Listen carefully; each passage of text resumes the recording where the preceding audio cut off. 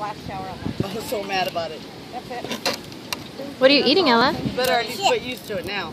Oh no. If Ella likes it, then it's okay. chips. It's not there at the moment. You like that, Ella? Tell Uncle, don't be spending ten dollars on dumb things. That's not dumb. When we have 50 million towels and blankets, yes it is. No. Ask Birdie. Uh, no, no, no, Uncle. No, no, no, Uncle. Ten dollars is a lot of money.